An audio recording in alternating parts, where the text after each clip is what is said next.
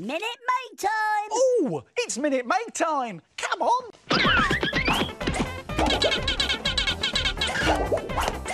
Here's what we're going to make today. A pencil bug. Oh, Mr. Pencil Bug, I'm woolly pleased to see you.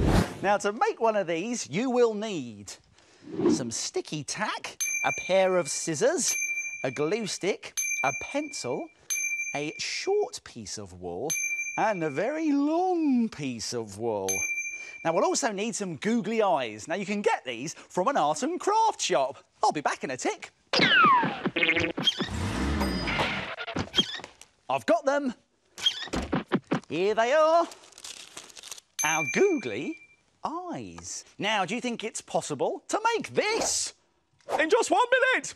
No way! Oh, well, I think I can. I'm going to have to be very quick, though. But don't worry, I'll remind you how to do it at the end. Stop the clock! Here we go. Get the long piece of wool and start wrapping it around your hand like this. Round and round it goes.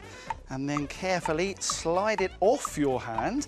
Get the small piece of wool and then tie it in the middle like that. There we go. Tie it nice and tight.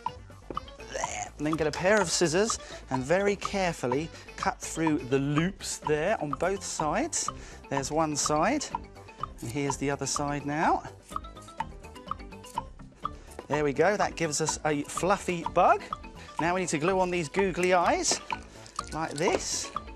There's one googly eye. There's the other googly eye. And then if we get our sticky tack on the end of our pencil, there it is, we can push it on to our pencil bug. Phew, I made it. Only just?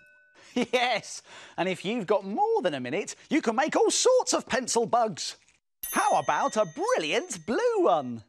Or even this big one, made out of multicoloured wool. Pencil bugs made in a minute. Why don't you try and make one? Here's a reminder of how to do it.